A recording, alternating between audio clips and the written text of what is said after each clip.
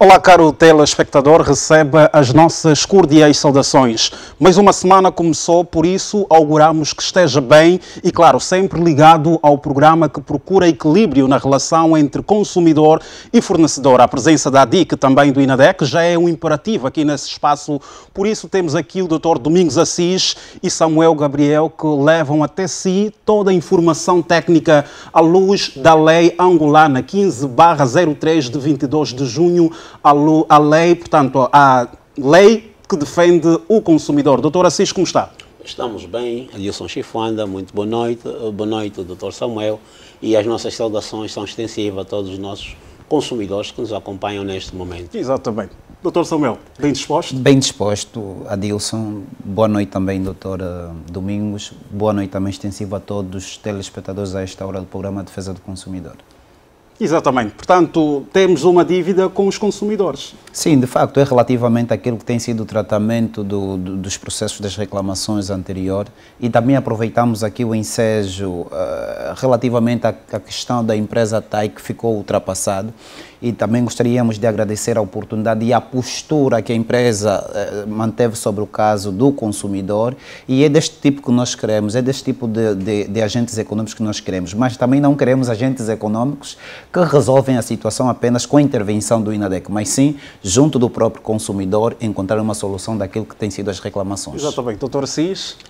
Oh, Adilson, chifanda, caros consumidores, a minha nota não vai muito em direção àquilo que tem sido o nosso trabalho aqui efetuado, mas uma particular atenção virada à, à questão do clima. Terminou esta semana a cimeira uh, das Nações Unidas sobre o clima e ficou a, a patente que temos uh, um triplo, uma tripla crise, que é a crise do clima, a crise da biodiversidade e a crise uh, da sustentabilidade. É preciso que as pessoas trabalhem, que os Estados trabalhem para melhorar o clima, para que possamos ter um ambiente saudável, de modo que todos os angolanos e o mundo inteiro possa viver de maneira diferente. Exatamente. Vamos agora ao que interessa. O primeiro caso que vamos ver está ligado ao setor imobiliário e envolve o consumidor Tiago dos Santos e o projeto habitacional consórcio Comandante Loi. Tiago dos Santos é um coronel na reserva que, desde 2009, efetuava depósitos na conta do consórcio para ter uma residência no projeto Cussanguluca. Entretanto, as coisas não correram como previsto e o consumidor solicitou o reembolso dos mais de 300 mil kwanzas que chegou a pagar ao câmbio de 10 mil kwanzas na altura. Porém, até o momento, continua sem receber o dinheiro. Conheça toda a história com o jornalista Quinavuíde Barbosa. Este projeto foi, em princípio, desenhado para um público-alvo, os antigos combatentes. O senhor Tiago é antigo combatente, por isso, candidatou-se. Pois é, nós estamos exatamente aqui de frente ao complexo habitacional, ou melhor, ao projeto habitacional eh, Luca, consórcio comandante Loi é aqui onde o consumidor eh, Tiago dos Santos tinha esperança eh, de ter aí uma residência, mas que acabou ou está a ser uma esperança uh, frustrada. O nosso consumidor, ao estar aqui, eh, o que, que sente, Sr. Tiago? Olha, eu, no princípio, eu me sentia feliz quando fiz uma, uma candidatura desse projeto porque foi adilido dizendo que este pertence aos antigos combatentes. Eu, como sou os antigos combatentes, veteranos da pátria, então fiquei feliz, porque às vezes o governo olhando para nós. Mas passando o tempo, desde 2018, passando o tempo, começaram a aparecer as pessoas com muito mais dinheiro, mais dinheiro. O que me espanta é 2018, eu fiquei doente, fui ao hospital, fui amputado através de uma fartura de arma de fogo que eu apanhei na perna esquerda. Fui amputado, saí em 2019. Este ano onde terminou o pagamento, onde disse, decidiu não pagar mais? Quando disse que não pagarei mais é quando eu saí do hospital. Fui lá consultar com o meu, com meu contrato. Posto lá, ela disse, não, o valor é pouco, não poderia continuar a pagar, é só você que tem que fazer uma carta para empresas e para fazer os reembolsos dos seus valores. Quem disse isso? Quer dizer, o, é o PCA. Quem é o PCA? É o senhor Albino, Albino Joaquim Albino. Senhor Joaquim Albino. Exatamente. E primeiro fui ter com a diretora do, do projeto, a dona Cristina.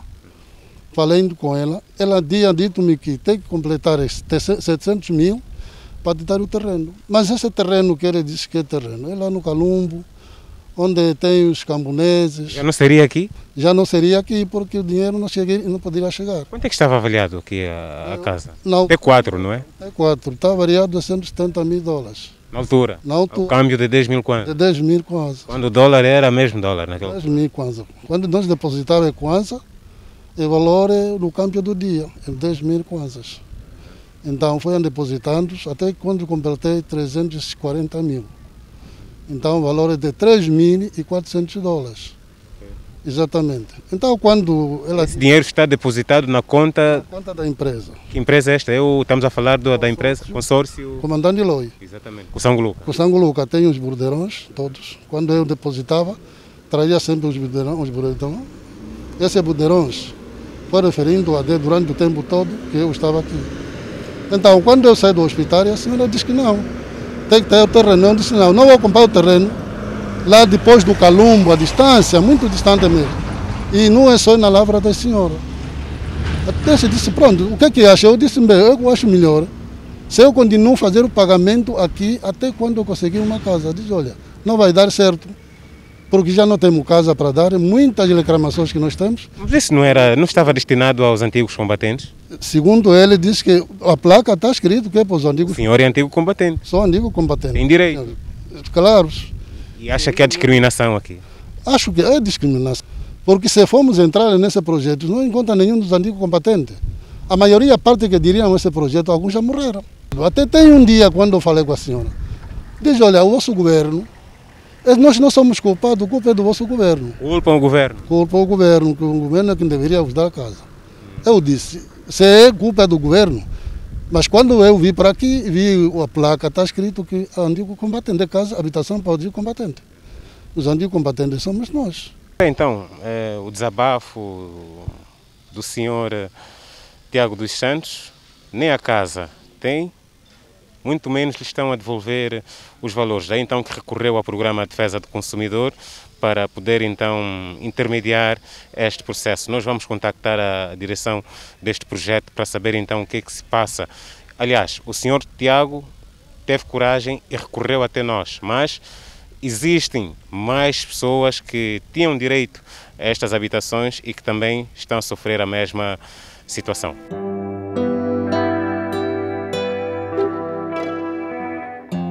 A direção do projeto Sangue Luca não quis gravar a entrevista, mas em off garantiram-nos que o processo de reembolso dos valores para os candidatos que requereram está a ser feito dependendo da disposição orçamental.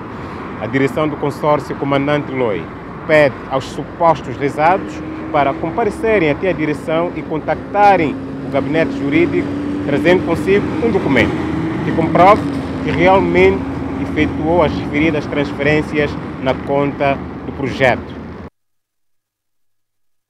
Como vimos na peça, a direção do consórcio Comandante Loi não quis prestar qualquer declaração oficial sobre o assunto, mas garante que vai devolver o dinheiro ao consumidor. Doutor Assis, este é um caso que não é isolado. A nossa produção tem recebido muitas reclamações de antigos combatentes que viram o sonho da casa própria frustrado. Adilson Chifanda, caros consumidores que nos acompanham neste momento, é muito triste é, aquilo que vimos na peça. Que não, não, não queremos acreditar que é um país normal.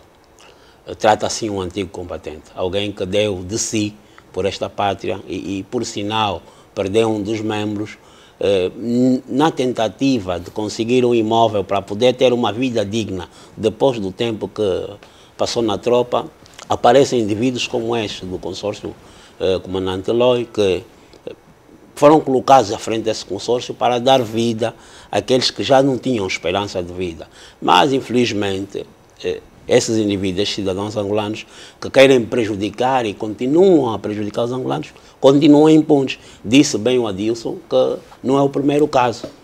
Não é o primeiro caso que estamos a acompanhar. Já uh, falamos muitas vezes no programa de defesa do consumidor sobre essa, essa equipa que dirige o consórcio Comandante Loi.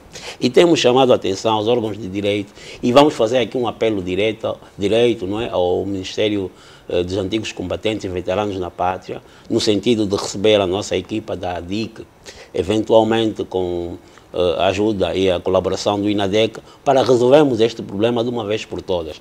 Está-se a sujar o nome dos antigos combatentes e, infelizmente, esses indivíduos que representam o consórcio comandante Loi não são sérios.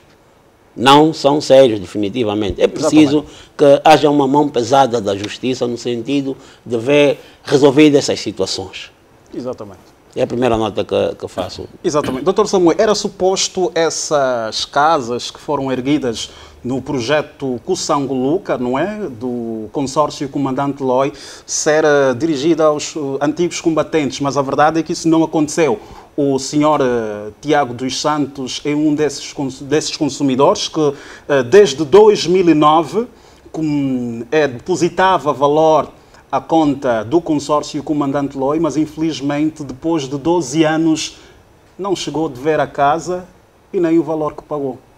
Adilson, é com bastante preocupação que tomamos pelas declarações do consumidor a afirmar categoricamente de que de uma das declarações do, do, do, do, do representante do, consórcio a afirmar que a culpa é do Estado. Enquanto nós, enquanto instituição a representar o Estado, Ficamos preocupados com esta situação e com esta declaração, porque nós entendemos que o Estado tem cumprido eh, e fazendo sempre o esforço para aquilo que são os próprios fins do Estado, que é a justiça, a paz e a segurança. E não só é interessante saber que a própria Constituição chama aí a atenção sobre a iniciativa privada, mas esta iniciativa privada que as instituições têm hoje como este, este, este, este agente econômico que representa o comandante Loi, é, devem entender que estão num Estado de direito, que existem normas e regras que devem ser obedecidas. Esta, e uma destas leis, estamos aqui a falar da Lei de Defesa do Consumidor. Relativamente a esta questão, nós, é, o INADEC, já, já notificamos uh, os representantes da empresa. Temos um encontro marcado para terça-feira, às 10h30, em que nós poderemos cumprir aí, ouvir ali eh, por, por meio daquilo que é o próprio contraditório. Mas preocupa-nos com aquilo que são as declarações e nós não teremos contemplações se de facto, eh, mediante aquilo que é a mediação, conseguimos, eh, conseguimos ver ali que existe uma violação aos direitos do consumidor. Porque nós estamos também preocupados pelo número de consumidores. Por exemplo, desta mediação que está marcada, nós estamos aqui a falar de mais de sete, sete consumidores. Isso preocupa-nos bastante.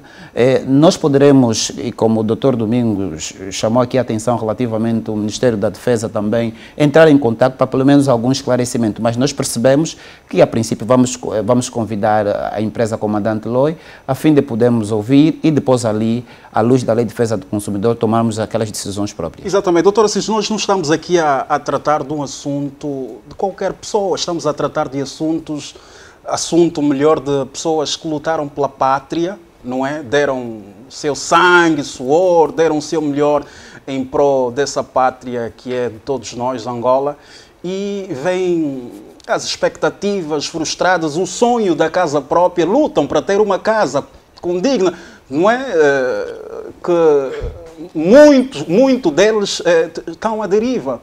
E Bom, não, não, não é nenhum favor que lhes é feito, porque eles pagam, estão muitos continuam a pagar até hoje por essas casas, mas nós também já sabemos que eh, o, o, projeto São Luca não tem casa para os antigos combatentes, porque abriu-se, não é, para o público em geral, e maior parte das pessoas que ocupam as residências neste projeto, pelo menos, não são antigos combatentes.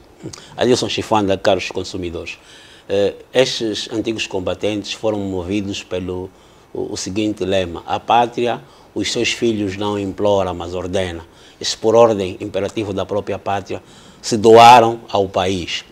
E quando os responsáveis do projeto Luca vêm dizer que a culpa é do Estado, eu não sei que Estado querem culpar. O Estado financiou, o Estado terá portanto, financiado esse projeto inicialmente, que começou em, dois, em 2008. Bom, é, é, tal como disse aqui a Dilson Chifanda, caros consumidores, nós, enquanto associação, tudo faremos para, eh, junto do Ministério dos Antigos Combatentes e Veteranos da Pátria, perceber efetivamente o que se passou. Com a ajuda do INADEC, porque já notificou os responsáveis do projeto Luca que já eu... aceitaram falar, não é? Porque eles não quiseram prestar uma declaração oficial à nossa equipa. Mas, mas ainda assim, Adilson, eu tenho muita dúvida de que uh, eles possam resolver essa questão, porque há compromissos muito fortes com particulares que aderiram ao projeto por força uh, da vantagem financeira que tinham comparado aos antigos combatentes e não estou a ver essa direção do projeto Luca uh, desalojar alguns particulares estão, que aí estão para poder uh, dar casa a esses antigos combatentes. É importante, e aqui chama-se a atenção o Estado enquanto pessoa de bem, no sentido de olhar para esses cidadãos que muito deram por esta pátria, Exatamente. melhorar as suas condições de vida. Exatamente. E é o apelo que se faz, e para terminar, uma vez que não houve cumprimento por parte daquele que recebeu o tanto para entregar o imóvel, deve, eh, por obrigação, por imperativo legal, fazer a devolução e a devolução deve ser feita no dobro. Exatamente. Doutor Samuel, como disse. Eh no princípio, este não é um caso isolado. Eu, enquanto repórter deste programa também, em 2017,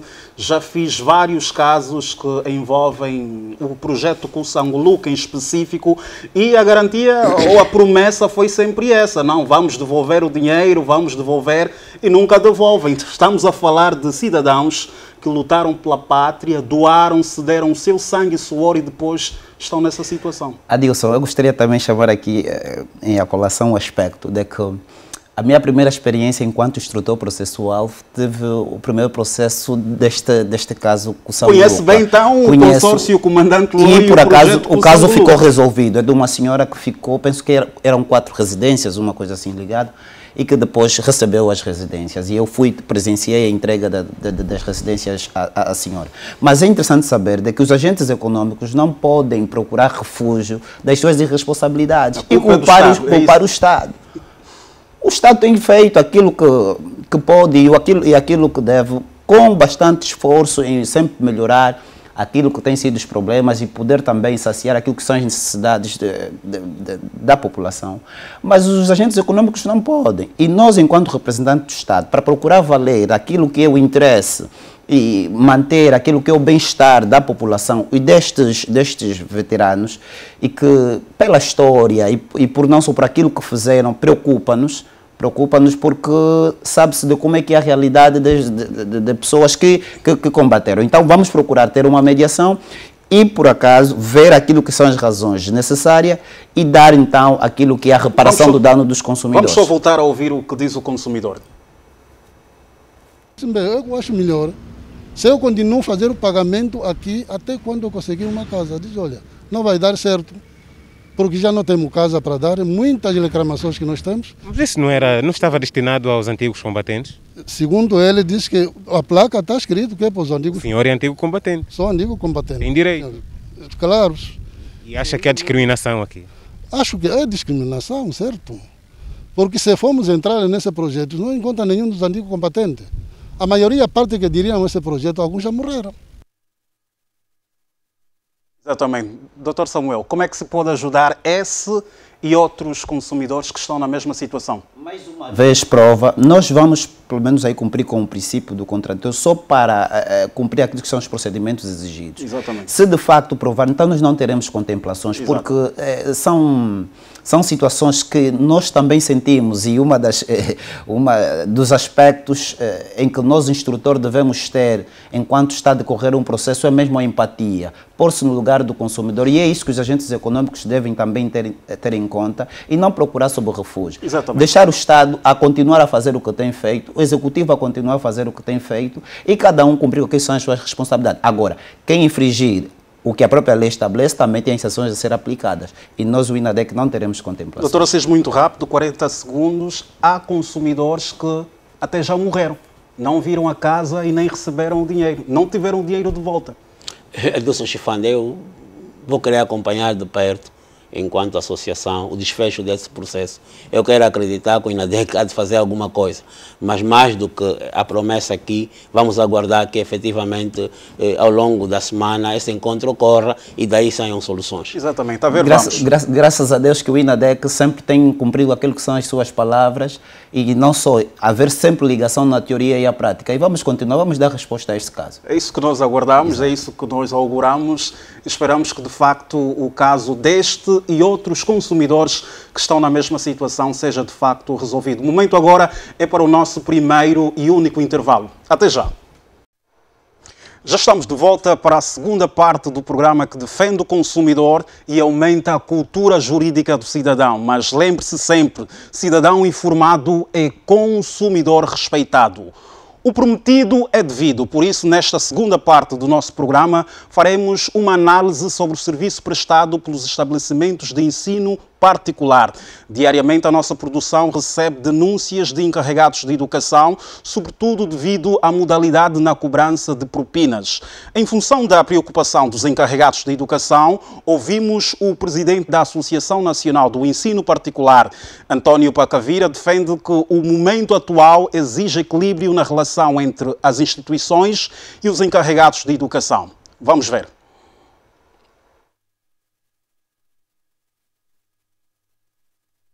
Dizer que as escolas, na verdade, reinventaram-se, muitas tornaram-se resilientes, porém, nem todas, mas são muitas que investiram bastante.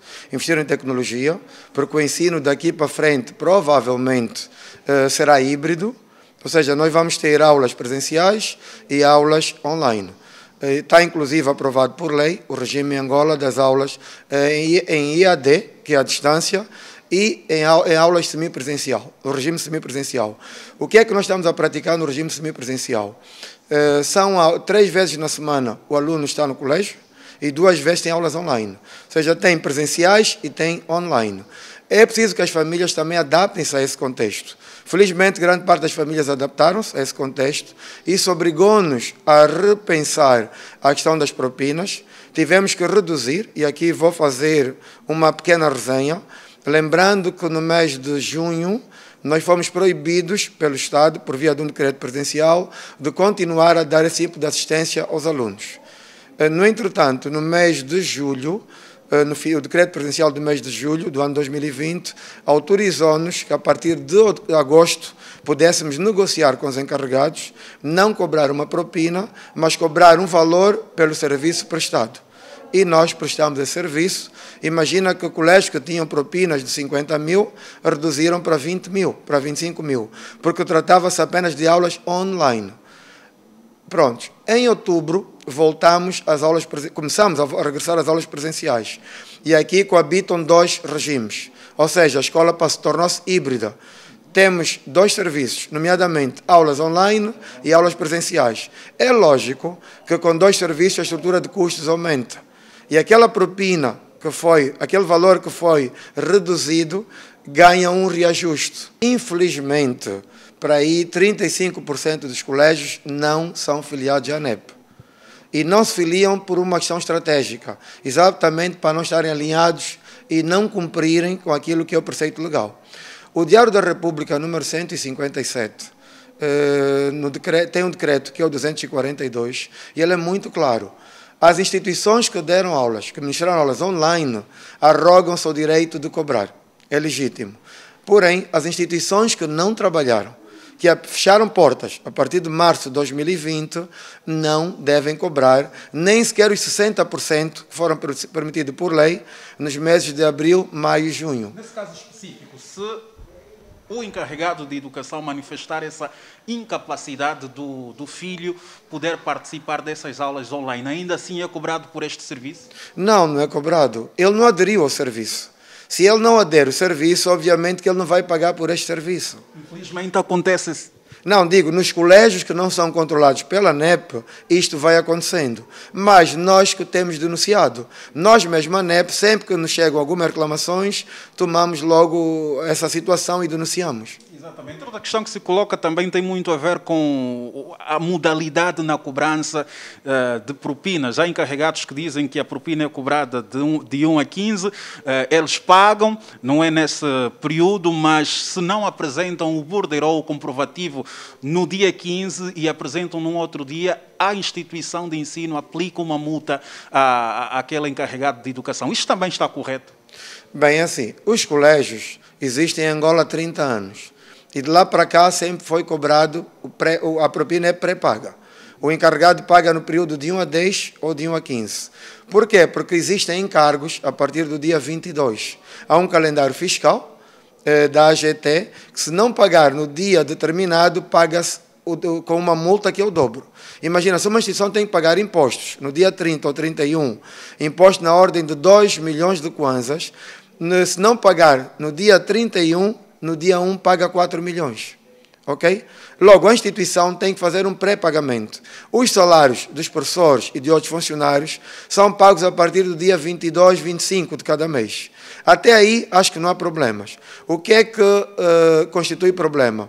Se o pai paga e não leva o borderô, não entrega o borderô, há instituições, não todas, e não vamos generalizar, há instituições que pretendem aplicar penalizações. Está errado, está de todo errado. Ah, se o pai já pagou, é, ele, obviamente, que a instituição até recebe do banco extratos e ele pode picar. Aí um erro por parte dos pais. Os pais não uh, pedem para personalizar. Se o pai no banco pedir um, um descritivo, é tecnicamente assim que se diz em termos bancários, se ele pedir um descritivo, o, o, o documento que vem do banco vem com o nome do pai ao nome do aluno. Facilmente o colégio vai identificar. Como a maior parte dos pais não pede o descritivo, naturalmente que vem em números no extrato. E pelo número não é possível identificar. Para o colégio, a propina não está paga. Até que o pai leve e comprove pelo borderô. Então, nós apelamos aqui aos encarregados que têm dificuldades em levar eh, pessoalmente ou enviar por e-mail ou pelo WhatsApp também, que muitas instituições até aceitam, que devem, na verdade, solicitar descritivos, para que o colégio considere a propina como paga. Mas aqui vai um apelo também aos colégios. Não devem penalizar sem abordar o encarregado. Primeiro há que confirmar, e há muitas vias de comunicação, muitas formas de comunicação, para poder certificar se o encarregado já cumpriu ou não cumpriu. Exatamente. Acabamos de ouvir então António Pacavira, o presidente da Associação Nacional do Ensino Particular. Doutora Assis, eu recebi uma mensagem de uma consumidora, ela prefere o sigilo, e diz que o filho é do complexo escolar Luisandra Sanz, penso que é esse o nome do colégio, e diz que as propinas são pagas de 1 a 30 de cada mês. E no dia 22 já estavam a colocar os alunos na rua a falta de pagamento. Ouvimos uh, da explicação que deu António Pacavira, o que é que se pode tirar? Adilson Chifuanda, caros consumidores, é com alguma tristeza que acompanhamos pronunciamentos eh, desta natureza, eh, sobretudo pessoas que esperávamos uma posição diferente. Pensamos que nessa altura não existe alguma sensibilidade por quem dirige os, os colégios privados no país. Mas António Pacavira, doutor Assis, defende maior equilíbrio entre as instituições e os encarregados de educação. Eles reconhecem, pelo menos reconheceu que o momento não é dos melhores para todos e exige ou defende alguma flexibilidade entre as partes. Uh, Disso, Chifuanda, quando estamos a falar de equilíbrio, estamos a falar de quê? que o consumidor tem que aceitar que a propina era 20 mil, passa a 50 mil quantas. Que o consumidor tem que aceitar pagar a propina sem que tenha merecido o serviço. Que o consumidor tem a obrigação de pagar multa 30% sobre o valor, quando a lei de defesa do consumidor fala de 2%.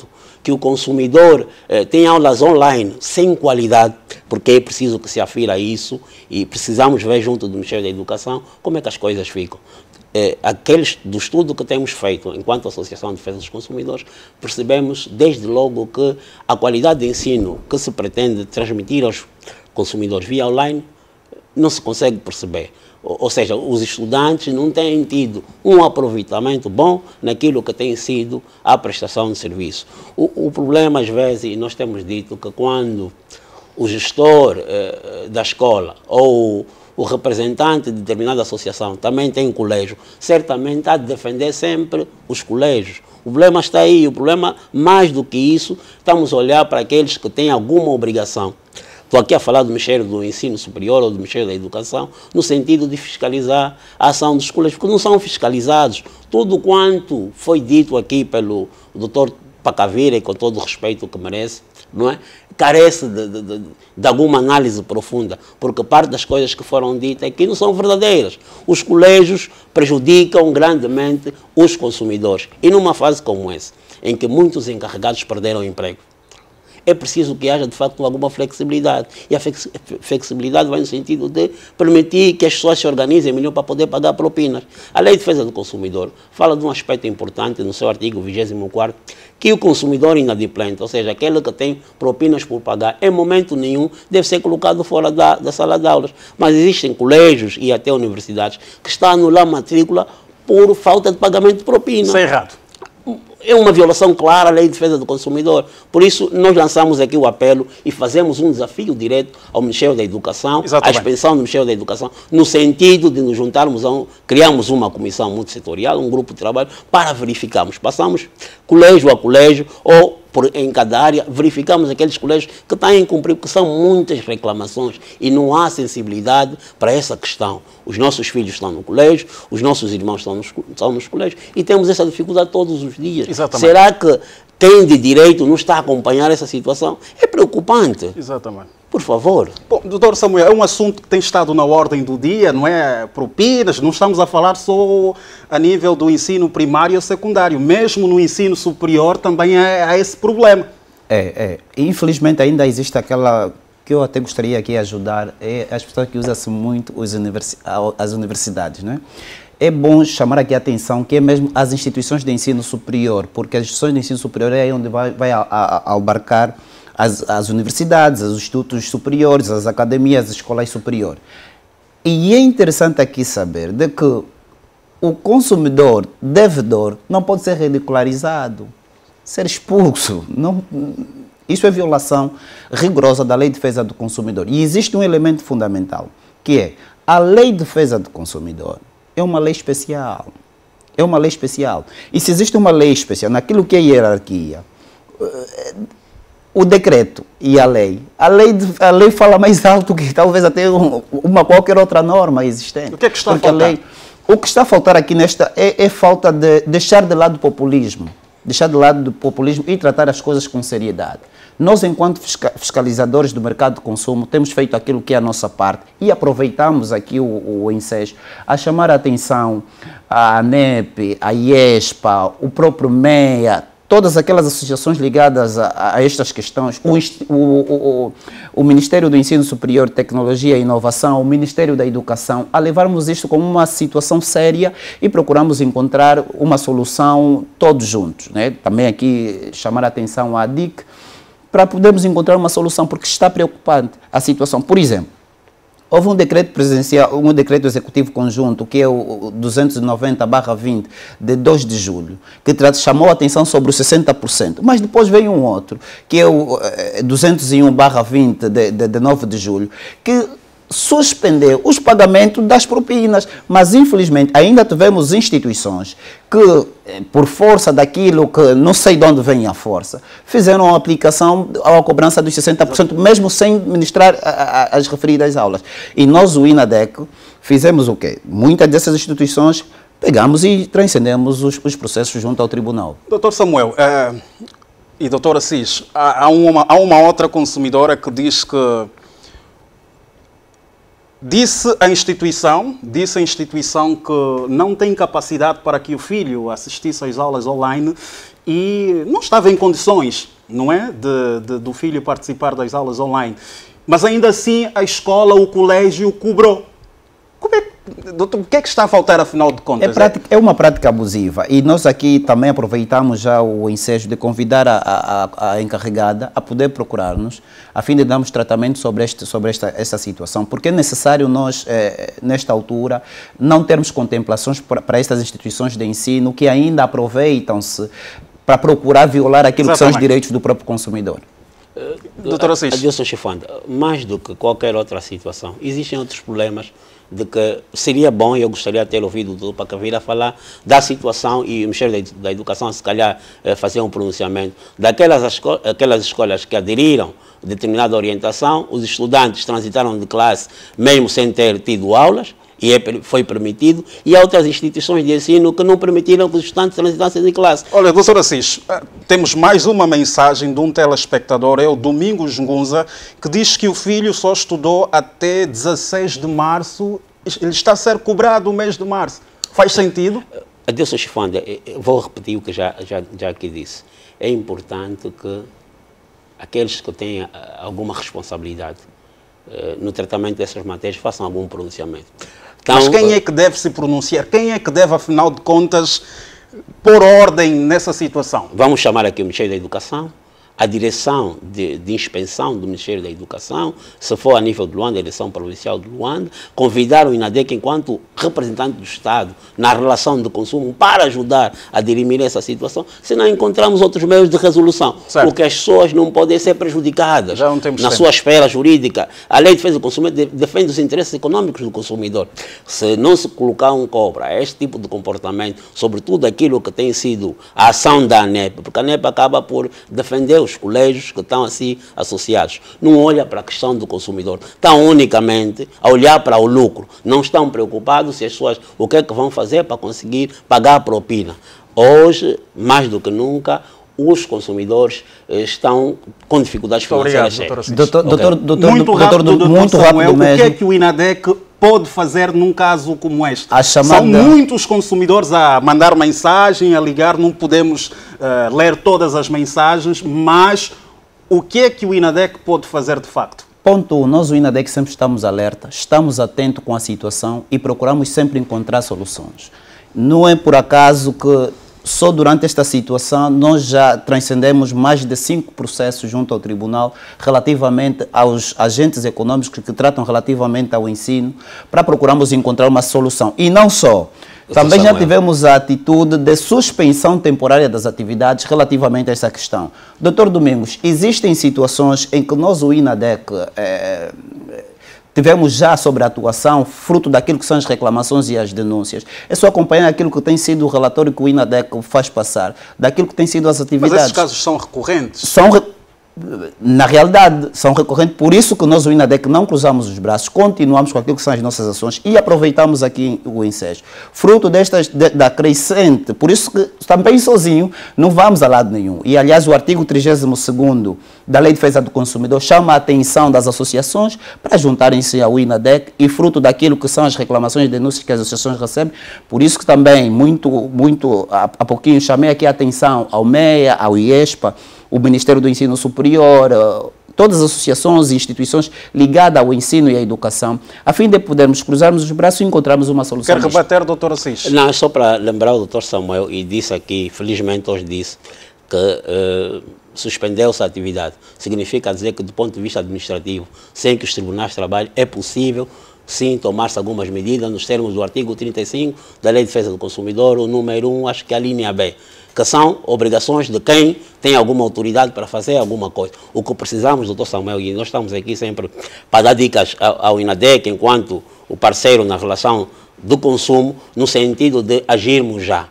Há situações que vamos esperar que o tribunal decida, sim. Há situações que merecem a nossa atenção urgente, nós vamos já agir. A lei permite isso, não é doutor, nada doutor, fora doutor da lei. Domingos, não esqueça, Muito obrigado, não esqueça, não esqueça que existe diferença entre administrar e julgar. E nós, o INADEC, vamos fazer até onde a própria lei de defesa do consumidor esclarece, no próprio artigo 26 e mais, doutor Domingos 25 doutor, 26 veja as suas atribuições não, enquanto sobre, autoridade sobre as, as atribuições, doutor. É difícil ensinar um padre a rezar, mas sobre as, as atribuições, nós conhecemos muito bem, mas em interessante saber que coisa. a DIC tem Senão, que perceber que o 26 são as sanções. As citações que aí estão das sanções. Doutor Domingos, algumas sanções, que acabam o INADEC tem que procurar. sanções administrativas, doutor. Mas, Precisamos explicar lá para casa doutor. que, e vamos pedir aos consumidores que uh, reparem, revisitem a lei de defesa do consumidor, que é uma lei que está à disposição de muita gente. Reparem, o artigo 35 não precisamos de ser estudantes de direito ou juristas para perceber melhor isso. É só importante olhar para aquilo e aplicar. Aquilo que é possível, e a lei permite que o INADEC, enquanto órgão do Estado faz, o INADEC faz. Aquilo que pode se transferir e dar o processo, dar uh, entrada ao tribunal, então o tribunal doutor, resolve. Doutor, Era só doutor, isso que queria que lá em casa perceberam. Infeliz, infelizmente, infelizmente, doutor Assis, muita, muita, sim, claro, vamos aqui aproveitar. Muito Infeliz, rápido. Infelizmente, doutor Assis às vezes esquece para que haja aplicabilidade de uma norma é necessário um elemento fundamental que é a interpretação. E nos elementos da interpretação, são situações básicas, doutor Assis. Nos elementos da interpretação, não é apenas aquilo que é textual, de mas também existe, existe o elemento racional, histórico, existem vários elementos que nós, o INADEC, enquanto aquele que vai aplicar, deve ter a noção, porque a, a interpretação que eu, enquanto. Como é que para doutor, alguns é possível suspender terminar, a atividade doutor, e para outros terminar. não? Doutor, usar por isso dois pesos e duas medidas. Não, doutor. Se a infração é a mesma, é importante que se aplique a mesma medida para a mesma infração. Doutor, este é um Agora, entendimento mesma errado. infração, é, medidas, dois pesos e duas medidas. E Dessa forma, o Estado não vai ajudar os consumidores. O Estado não vai ajudar, mas o ADIC pode ajudar. A essa altura, muitos consumidores estão a ver, uh, o doutor Assis, onde é que podem encontrar a DIC? A DIC, eh, como já dissemos aqui, a DIC tem o seu escritório junto ao Mundo Verde, eh, no edifício onde está situado o Banco BIC. No primeiro andar estamos lá. Podem procurar a DIC. Da sexta, das 8 às 16 Terão horas. ajuda. Ajuda disponível. A DIC está sempre disponível para isso. De certeza que o INADEC, como instituição do Estado que defende os interesses do consumidor, também está disponível sempre para prestar o devido auxílio. Nós estamos sempre prontos e também para ajudar as associações, para qualquer esclarecimento, estamos aqui do, de modo gratuito. Vamos sempre continuar a ajudar as associações a perceberem melhor e principalmente a interpretação daquilo que é a própria Lei de Defesa do Consumidor e procurar transmitir às associações, os consumidores, que de facto para que haja interpretação da lei não é necessário apenas que seja o elemento escrito ou o elemento, ou o elemento literal, mas sim também existe aquele elemento racional em que aquele que vai poder aplicar, fazer o, balance, o, o balancear da, da, situação e mais aplicar outros princípios ladeados pelo estamos aqui da racionalidade, da própria proporcionalidade para podermos aplicar a lei de defesa Exatamente. do consumidor. Por isso que nós, o INADEC, temos a liberdade de escolher de qual deve ser a sanção a ser aplicada e aqueles que, de facto, continuam a violar os direitos do consumidor, aí nós também temos a Muito obrigado, doutor Samuel. Muito obrigado, doutor Assis. As opiniões são divergentes, mas o objetivo é único, defender o consumidor. Chegamos ao fim de mais um programa Defesa do Consumidor. Contamos com a sua contribuição. Conte-nos a sua história ou mande a sua reclamação para o nosso correio eletrônico defesa do consumidor consumidor@tvzimbo.com e também na nossa página do Facebook Informação TV Zimbo. Já sabe, o nosso objetivo é mediar conflito de consumo, é aumentar a cultura jurídica dos cidadãos e poder dizer: cidadão bem informado é consumidor respeitado. Boa